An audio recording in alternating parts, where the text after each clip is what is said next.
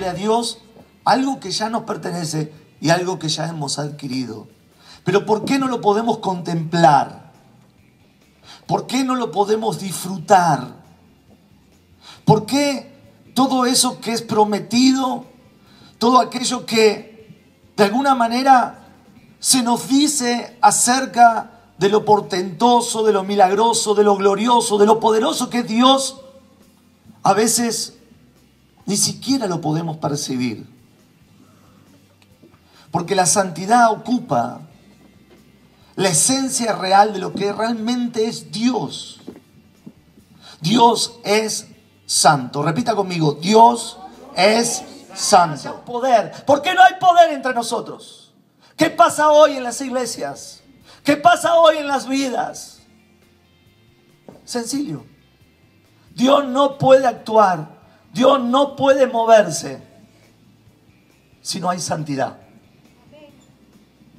Josué recibe una palabra de parte de Dios y llama y hace un llamamiento santo al pueblo y le dice, Josué, dile a mi pueblo que se consagre porque haré maravillas mañana entre vosotros. Pero la primera acción que Dios hace y motiva a Josué a hacerlo es prepara al pueblo, que se santifique. Porque cuando se santifique, haré maravillas. Es la decisión de seguir a Dios a contramano de lo que es este mundo. No es normal ver una imagen de televisión con una persona desnuda, aunque para todo el mundo es normal. No es normal que un hombre se bese con un hombre y aún que nosotros lo miremos en una televisión o por ahí. No es normal, eso no es santo.